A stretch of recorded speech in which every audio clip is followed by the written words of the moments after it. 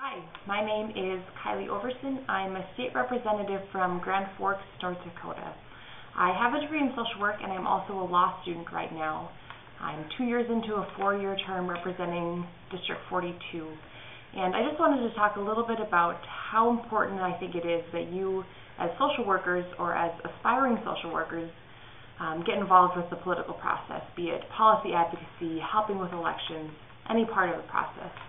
Um, imagine the interactions you have with your clients on a day-to-day basis, and when you encounter a problem with something, um, you can do your best to advocate for that client and help them get through that problem. Um, but imagine the impact that you could have if you got involved to change the problem and to change the way that our clients interact with the system.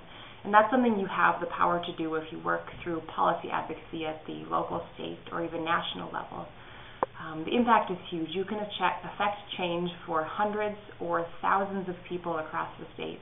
And it's really important that social workers' voices, those who work most closely with clients receiving services, are at the table um, advocating for positive change. So I really encourage you all to think about getting involved, and I look forward to seeing where you all go in the future.